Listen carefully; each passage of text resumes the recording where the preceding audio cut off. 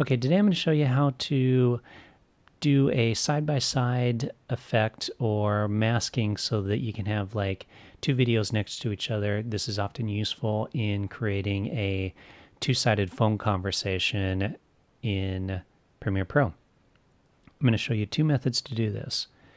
So let's get rid of this one. The first thing I'm going to say is if you can, try to film it in portrait versus landscape.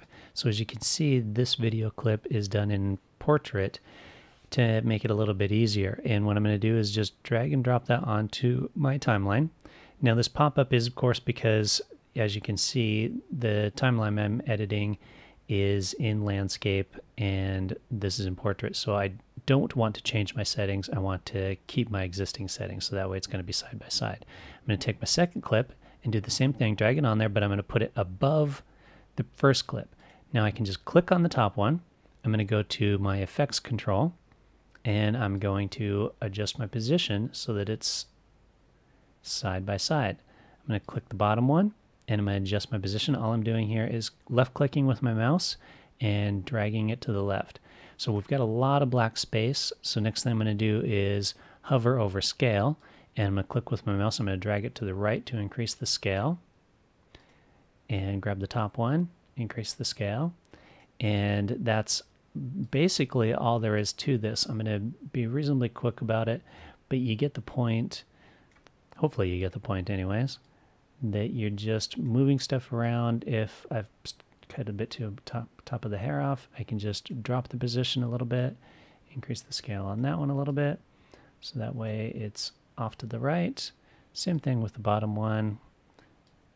Bit larger, drop it a little bit, and there you go. So if this were playing, I would, I'm going to mute it. I'm going to have two sides of a conversation of people talking. So that's a quick, easy method.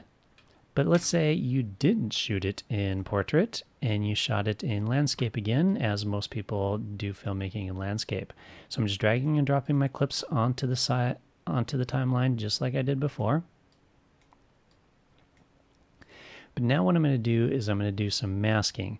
So first thing I'm going to do is grab my top clip and I'm going to put that where I want it to be in regards to the position in the scale. So I'm going to move just a bit to the left because I want my head in frame and I want all the stuff here to the right out. And now what I'm going to do is I'm going to go down and we've got these opacity options here. So I'm going to click on that.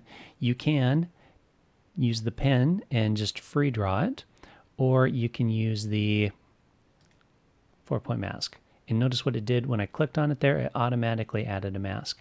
I'm going to do one more thing. I've got it set to fit so that that way it fills the screen. I'm going to drop this to say 25% and this will make it a little bit easier as I'm dragging the edges. So I'm literally just clicking with my mouse and dragging each edge up to where I want it. And notice I'm going, this is why I switched to 25% so I can go farther off screen with it. Because once it's off screen, it doesn't really matter but I don't want to accidentally have a little bit of it on screen. One last thing I want to change here before I switch to the other clip. Notice under mask feather, it's by defaulted at 10%. This will create a little bit of a feathering effect around the edge. I don't want that, so I'm just going to set that to zero.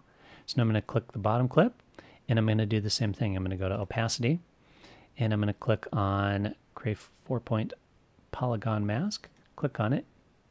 Automatically adds one right in the center there just going to drag my edges out of the way and I'm going to start putting it where I want it. Now what I didn't do on this one is I didn't actually move the video clip where I wanted it before doing the mask. So notice what will happen when I go to position, I'm going to drag it to the right. It takes that mask with it. And so I'll need to then readjust the mask again to get it to where I want it.